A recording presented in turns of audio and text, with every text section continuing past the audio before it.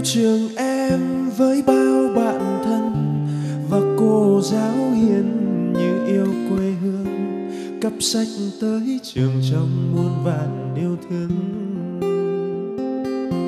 Nào bàn nào ghế, nào sách, nào vở, nào mực, nào bút, nào phấn, nào bàn, cả tiếng chim vui trên cành cây cao, cả lá cờ sao trong nắng yêu sao yêu thế trường của chúng em.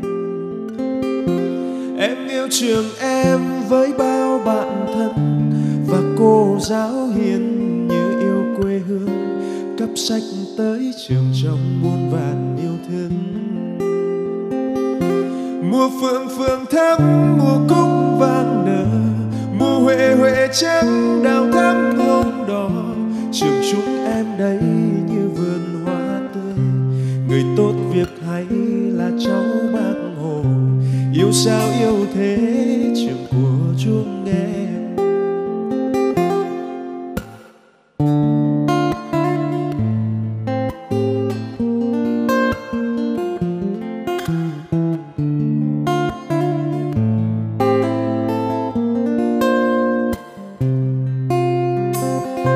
em yêu trường em với bao bạn thân cô giáo hiền như yêu quê hương, cấp sách tới trường trong muôn vàn yêu thương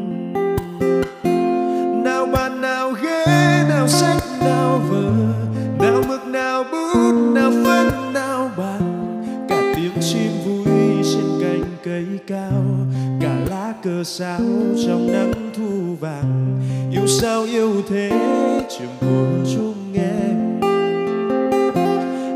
Trường em với bao bạn thân và cô giáo hiền như yêu quê hương cắp sách tới trường trong muôn vàn yêu thương. Mùa phượng phượng thắm, mùa cúc vàng nở, mùa huệ huệ trắng đào thắm hồng đỏ trường chúng em đây như vườn hoa tươi, người tốt việc hay là cháu bác hồ. Yêu sao yêu thế, trường của chúng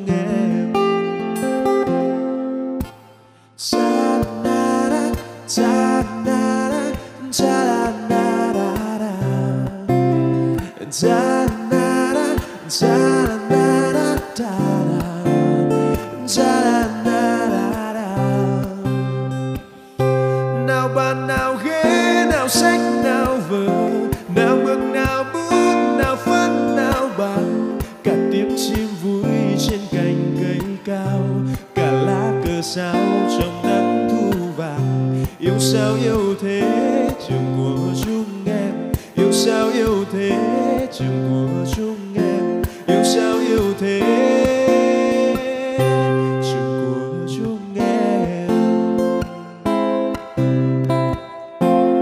Vâng, thực sự là rất yêu phải không ạ? Rất yêu giọng hát này và ngày hôm nay thay mặt các khán giả của cà phê sáng cuối tuần xin cảm ơn bạn đã đến với chương trình của chúng ta. Nam ca sĩ nhạc sĩ Tạ Quang Thắng, bạn có muốn gửi lời chào tới quý vị khán giả không? Xin mời.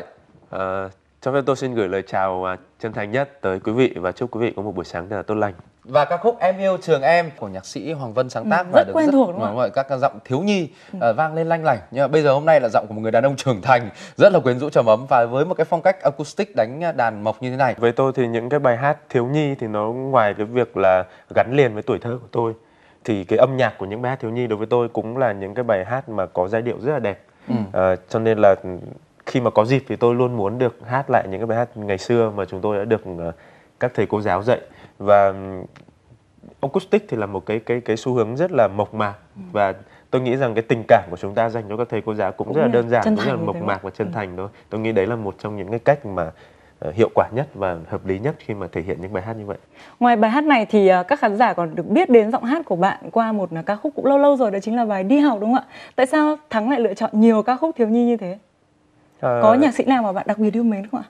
thực ra à, gọi là lựa chọn thì không phải nhưng mà như tôi vừa nói là cái những cái bài hát thiếu nhi nó như là ngấm sâu vào trong À. tâm hồn tôi từ khi còn còn rất là nhỏ rồi và tôi cảm thấy là tâm hồn mình cùng các bạn đồng trang lứa được nuôi dưỡng rất là nhiều Ừ. bởi những cái bài hát như vậy và cái thời gian gần đây thì các bạn thiếu nhi bây giờ thì ít được nghe lại những bài hát đó thì tôi nghĩ là ngoài cái việc là sáng tác những bài hát mới mang cái phong cách âm nhạc của chúng tôi thì nếu có thể lại truyền lại cái cảm hứng mà ngày xưa chúng tôi có lại cho các bạn thiếu nhi bây giờ thì tôi nghĩ là một trong những điều rất là tuyệt À. Ờ, nếu mà nhạc sĩ một trong những nhạc sĩ mà tôi yêu mến nhất thì à, chắc là nhạc sĩ Phẩm Tuyên bởi vì là À. ông có rất là nhiều các cái bài hát mà dành cho thiếu nhi mà được mọi người thuộc rất là nhiều Thế thì bật mí cho bạn nhé.